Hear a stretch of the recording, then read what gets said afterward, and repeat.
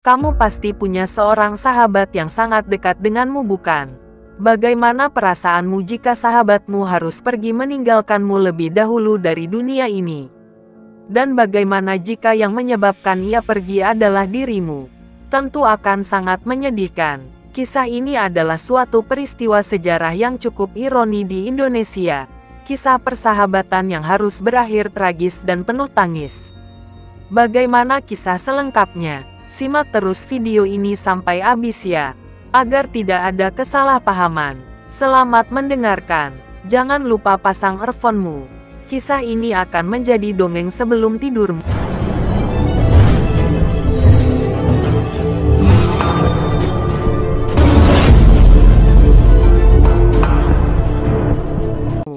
Kisah ini dimulai di tahun 1918 di sebuah rumah kos yang berfungsi juga sebagai markas perkumpulan anak muda. Pemilik kos itu adalah seorang aktivis Serikat Islam Haji Umar Said Cokroaminoto atau yang biasa disapa OS Cokroaminoto. Di situ berkumpul pemuda-pemuda yang tengah haus dengan ilmu pengetahuan. Nama mereka masing-masing adalah Soekarno, Semaun, Kartosuwiryo, Ki Hajar Dewantara, Alimin, Muso dan Darsono. Pemuda yang kebetulan tinggal di rumah kos yang berada di sebuah jalan kecil bernama Gang Panele 7 di tepi Sungai Kalimas, Surabaya secara tidak langsung menjadi murid pemilik kos OS Cokro Aminoto. Selain menjadi bapak kos Cokro Aminoto juga menjadi seorang pengkader yang hebat. Di antara pemuda yang tinggal di rumah kos itu ada tiga nama yang diketahui cukup dekat dengan Cokro Aminoto. Pemuda itu bisa kita sebut sebagai murid Cokro Aminoto. Tiga pemuda itu bernama Semaun, Soekarno, dan Kartosuwiryo. Sebagai seorang aktivis sekaligus ketua Partai Sarekat Islam Cokro Aminoto sering mengadakan diskusi-diskusi seputar politik dan ideologi yang tengah hangat. Di masa kolonial pada saat itu ideologi yang tengah ramai digaungkan adalah komunis, Marxis, nasionalis, sosialis dan ideologi religius bercorak Islam pemuda-pemuda itu sering mengkaji karya-karya berhaluan kiri atau komunis, sosialis juga Marxis. Masing-masing murid OS Cokroaminoto memiliki kecenderungan ideologi yang berbeda-beda.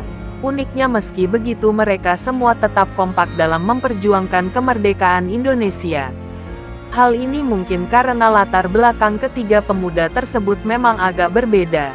Namun mereka memiliki kesamaan dalam hal semangat dan perjuangan. Mari kita coba telusuri tiga pemuda itu satu persatu bagaimana si latar belakang tiga pemuda yang sudah aku sebutkan tadi. Dimulai dari Soekarno. Siapa yang tidak mengenal Soekarno?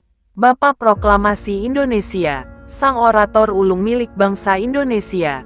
Soekarno mulai tinggal di rumah kos Paneles sejak usia 15 tahun. Saat itu ayah Soekarno, yang bernama Sukemi Sosrodiharjo menitipkan Soekarno yang melanjutkan pendidikannya di HBS. Kala itu tahun 1916 Cokroaminoto sudah menjabat sebagai Ketua Sarekat Islam, organisasi politik terbesar dan yang pertama kali menggagas nasionalisme. Setelah beberapa waktu tinggal bersama Cokroaminoto, Soekarno mulai mengagumi sosok pemilik kos tersebut bahkan dalam salah satu biografinya yang ditulis oleh Cindy Adam. Ketika Soekarno ditanya soal Cokro Aminoto, ia mengenalnya sebagai seorang idola. Dia belajar tentang bagaimana menggunakan politik sebagai alat mencapai kesejahteraan rakyat. Dia belajar tentang bentuk pergerakan modern seperti pengorganisasian massa dan perlunya menulis di media. Sesekali Soekarno menulis menggantikan Cokro Aminoto di media utusan Hindia dengan nama samaran Bima. Soekarno juga kerap menirukan gaya Cokro Aminoto dalam berpidato. Di kemudian hari Soekarno kelak akan menjadi seorang orator ulung yang memimpin sebuah partai beraliran nasionalis. Partai itu bernama Partai Nasional Indonesia atau PNI. Lalu di kemudian hari Soekarno kelak akan menjadi seorang Presiden Republik Indonesia. Soekarno memiliki seorang sahabat sebaya yang sangat akrab kala tinggal di rumah kos Paneleh. Siapakah dia? Ya dia adalah Kartosuwiryo, Pernah suatu ketika Soekarno yang gemar sekali latihan berpidato setiap malam di dalam kamar diusili oleh Kartosuwiryo. Kala itu Soekarno yang tengah melatih teknik berpidatonya di dalam kamar dikomentari oleh Kartosuwiryo. Kira-kira seperti ini bunyi percakapannya. Hei Karno buat apa berpidato di depan kaca? Seperti orang gila saja, kata Kartosuwiryo suatu kali kepada Soekarno yang tengah belajar berpidato. Mendengar celetukan itu Soekarno diam saja. Ia terus melanjutkan latihan berpidatonya. Selesai latihan Soekarno baru membalas Kartosuwiryo. Ia berkata seperti ini, tidak seperti kamu sudah kurus kecil pendek keriting mana bisa jadi orang besar. Ledek Soekarno dibarengi dengan tawa keduanya. Keakraban seperti itu kerap terjadi di rumah Paneleh. Hal ini bahkan direkam dalam sebuah buku yang berjudul Soekarno versus Kartosuwiryo, Serpihan Sejarah yang Tercecer. Buku ini ditulis oleh Roso Daras. Siapakah Kartosuwiryo ini? Pemuda ini kelak akan dikenal sebagai pemimpin organisasi di TII. Organisasi yang mencoba makar kepada pemerintah yang sah. Nama aslinya adalah Sekar Maji Marijan Kartosuwiryo. Ia mulai masuk pada dunia pergerakan saat bersekolah di Netherlands School atau yang biasa disebut sebagai Sekolah Dokter Jawa. Sekolah ini berlokasi di Surabaya. Ia bersekolah di sekolah itu pada tahun 1923. Kartosuwiryo sangat suka membaca koleksi buku milik pamannya. Nama pamannya adalah Mas Marco Kartodikromo. Buku-buku itu sebagian besar beraliran kiri dan berpahamkan sosialis karena sering membaca buku-buku yang bernafaskan perjuangan dan juga pergerakan. Kartosuwiryo akhirnya terjun ke dunia politik dengan bergabung kepada kelompok Jong Java lalu kemudian ia bergabung dengan Yang Islami. Mentor yang mendampinginya dalam bidang pergerakan dan agama adalah Haji Umar Said Cokroaminoto. Kartosuwiryo begitu mengagumi Cokroaminoto ia mengenal Cokroaminoto karena ia sering melihat Cokroaminoto berpidato di dalam berbagai pertemuan. Karena kekagumannya itu Kartosuwiryo akhirnya melamar menjadi murid dan juga mulai mondok di rumah kos ketua Sarekat Islam itu di Surabaya, sambil mondok dan berguru. Kartosuwiryo bekerja di surat kabar Fajar Asia milik Cokroaminoto. Ketekunan dan kecerdasannya membuat ia akhirnya diangkat menjadi seorang sekretaris pribadi Cokro Aminoto. Tulisan-tulisan Kartosuwiryo kerap berisi penentangan terhadap bangsawan Jawa, termasuk Sultan Solo yang bekerja sama dengan Belanda. Dalam tulisannya terlihat jelas pandangan politiknya yang sangat radikal dia juga sering mengkritik pihak nasionalis. Kartosuwiryo menemani Cokroaminoto hingga tahun 1929. Selain Soekarno dan Kartosuwiryo ada satu pemuda lagi yang lebih senior. Pemuda itu bernama Semaun. Apakah kamu mengenal Semaun? Bagi yang belum kenal, coba deh kamu secing karena dia juga pernah menulis novel yang berpahamkan agak ke kiri-kirian. Novel itu berjudul Hikayat Kadirun. Lantas bagaimana dia bisa tinggal di rumah kos Cokro Aminoto? Jadi begini ceritanya, di usianya yang baru 14 tahun. Saat itu tahun 1914, Semaun bergabung dengan Serikat Islam di wilayah Surabaya. Lalu kemudian Semaun bergabung dengan Indis Sosial Demokratis Vereniging. Organisasi ini adalah organisasi sosial demokrat Hindia Belanda atau yang biasa disingkat sebagai ISDV. Ia masuk ke dalam organisasi ini setelah ia bertemu dengan Hans Niflix. Tokoh komunis asal Belanda, aktivitasnya yang tinggi dalam dunia pergerakan membuat ia berhenti bekerja dari perusahaan kereta milik Belanda. Saat ia pindah ke Semarang ia sempat menjadi seorang redaktur surat kabar. Surat kabar itu bernama VCTV. Surat kabar yang berbahasa Melayu dan juga Sinar Jawa, Sinar Hindia dan Koran Sarekat Islam Semarang. Semaun juga pernah menjadi Dewan Pimpinan di Sarekat Islam pada tahun 1918. Sebagai Ketua Sarekat Islam Semarang Semaun banyak terlibat dalam pemogokan buruh. Ia terlibat dalam hal itu tidak sendirian ia bersama dengan dua orang temannya yaitu Alimin dan Darsono. Semaun akhirnya mewujudkan cita-cita Snapclits untuk memperbesar dan memperkuat gerakan komunis di Hindia Belanda.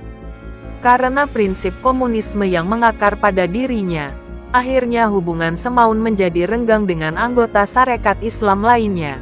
Pada tanggal 23 Mei tahun 1920, Semaun mengganti SDP menjadi Partai Komunis Hindia Belanda. Lalu tujuh bulan kemudian namanya diubah lagi menjadi Partai Komunis Indonesia Semaun pun akhirnya menjadi ketua partai itu. Partai Komunis Indonesia yang biasa kita singkat sebagai PKI, pada awalnya adalah masih menjadi bagian dari Sarekat Islam. Kala itu Sarekat Islam terpecah menjadi Sarekat Islam Hijau dan Sarekat Islam Merah. Sarekat Islam Merah akhirnya memecahkan diri menjadi Partai Komunis karena berbeda pemahaman. Hal ini terjadi pada bulan Oktober tahun 1921. Pada akhir tahun itu juga ia akhirnya meninggalkan Indonesia untuk pergi ke Moskow. Lalu Tan Malaka menggantikannya sebagai Ketua Umum Partai Komunis Indonesia setelah kembali ke Indonesia pada bulan Mei tahun 1922 dia mendapatkan kembali posisi Ketua Umum. Semaun pun mencoba untuk membangun kembali pengaruhnya di Sarekat Islam, tetapi upayanya kurang berhasil. Waktu pun berlalu. Akhirnya perjuangan tiga tokoh pemuda yang pernah ngekos di rumah Cokroaminoto itu membuahkan hasil pada tanggal 17 Agustus tahun 1945. Soekarno akhirnya memproklamasikan kemerdekaan Indonesia, dan tidak lama setelah itu ia pun diangkat menjadi Presiden pertama Republik Indonesia. Namun sayang kisah tiga serangkai itu harus berakhir tragis. Ketiga sahabat itu harus berpisah karena terbentur ideologi. Semaun ia harus meninggalkan tanah airnya pada tahun 1923. Semaun diasingkan oleh pihak kolonial Belanda, karena ia merencanakan demonstrasi besar-besaran. Lalu Semaun memutuskan untuk tinggal di Uni Soviet. Selama 30 tahun lebih selama dalam masa perasingan jiwa aktivismenya tetap tersalurkan mesti agak terbatas.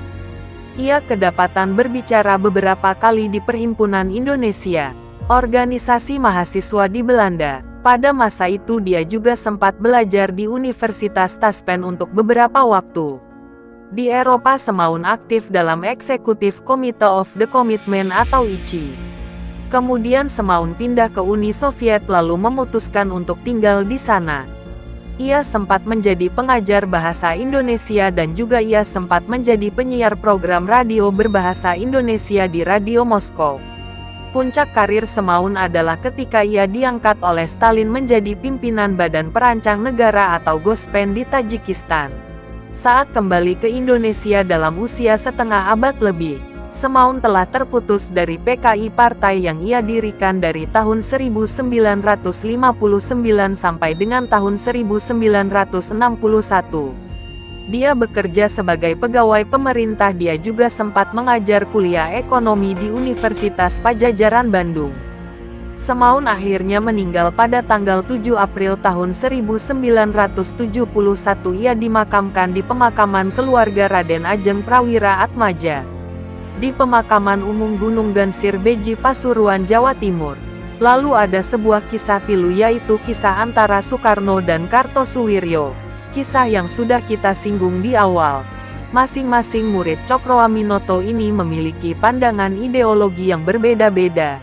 Jika Soekarno dengan gagasan ideologi nasional yang sangat kental, Kartosuwiryo sebaliknya ia lebih memilih Islam sebagai asas ideologinya. Sehingga terjadilah perdebatan atau perbedaan paham antara Soekarno dan Kartosuwiryo. Dalam hal bentuk negara Indonesia Kartosuwiryo menginginkan Indonesia berbentuk negara Islam. Tetapi Soekarno saat itu didukung oleh mayoritas elit yang menginginkan Indonesia menjadi negara republik. Akhirnya perbedaan paham itu menghadirkan suatu petaka. Setelah memproklamasikan kemerdekaan di tanggal 17 Agustus tahun 1945, Soekarno kemudian diangkat menjadi seorang presiden dan ketika menjabat menjadi presiden selang beberapa tahun kemudian, meletuslah pemberontakan yang dilakukan oleh berbagai macam kelompok. Salah satunya adalah DTI sebuah organisasi yang dipimpin langsung oleh sang sahabat, yaitu Kartosuwiryo. Organisasi ini ingin mendaulatkan sebuah negara yang berlandaskan Islam. Ia ingin mengganti negara kesatuan Republik Indonesia, menjadi negara Islam Indonesia. Hal ini jelas ditentang oleh kebanyakan orang pada saat itu, karena mayoritas sudah sepakat bahwa bentuk negara Indonesia adalah republik. Lalu pada tanggal 4 Juni tahun 1962 Tentara Nasional Indonesia berhasil mendesak Tentara Islam Indonesia atau TII. Kemudian menangkap Kartosuwiryo beserta para pengawalnya. Lokasi penangkapan itu berada di Gunung Geber. Kartosuwiryo pun akhirnya dijadikan tersangka. Ia pun dibawa ke pengadilan. Pengadilan akhirnya menjatuhkan vonis mati kepada Kartosuwiryo. Ia harus mempertanggungjawabkan perbuatannya yang telah dianggap makar dan dia pun menolak meminta maaf atas perbuatannya itu. Sebab baginya ideologi yang dianutnya sudah sangat benar. Salah satu keputusan berat yang harus diambil Soekarno ketika menjabat menjadi seorang presiden adalah menandatangani vonis mati terhadap sahabatnya sendiri Kartosuwiryo. Sekar Maji Marijan Kartosuwiryo nama itu tertempel di berkas eksekusi mati yang terpampang di atas meja kerja Soekarno. Soekarno beberapa kali menyingkirkan berkas-berkas itu, sampai akhirnya pada bulan September tahun 1962, Soekarno lama termenung di atas meja kerjanya. Ia mengenang masa muda bersama Kartosuwiryo. Kala itu, batin dan pikirannya sangat bertolak belakang. Tetapi pada akhirnya ia memutuskan untuk menandatangani surat itu. Ia sadar bahwa kebutuhan negara lebih baik daripada kepentingan pribadi dan akhirnya pada tanggal 5 September tahun 1962 Kartosuwiryo pun akhirnya dieksekusi mati di depan regu tembak di Kepulauan Seribu Jakarta. Kepada Cindy Adam, Soekarno menggambarkan betapa beratnya ia menandatangani surat vonis itu. Dalam autobiografinya Soekarno mengatakan hal demikian. Menandatangani hukuman mati tidaklah memberikan kesenangan kepadaku. Ambillah misalnya Kartosuwiryo di tahun 1918. Dia kawanku yang baik di tahun 20-an di Bandung kami tinggal bersama makan bersama dan bermimpi bersama-sama. Ucap Soekarno mengenang Kartosuwiryo. Dari kisah ini, kita bisa belajar bahwa terkadang kepentingan suatu lembaga atau kepentingan orang banyak harus kita lebih dahulu ketimbang urusan pribadi. Kita lihat bagaimana tegasnya Soekarno dalam menandatangani vonis mati kepada sahabatnya sendiri. Ia bukan berarti kejam, tetapi ia harus mentaati hukum yang ada di Republik Indonesia yang pada saat itu telah berdiri. Dan kisah ini pun selesai. Jika kamu suka dengan video ini, bagikan ke teman-teman, sahabat dan kekasihmu ya. Ingat juga untuk menekan tombol berlangganan agar channel ini bisa semakin berkembang dan memberikan manfaat kepada semua orang. Sampai jumpa di video selanjutnya.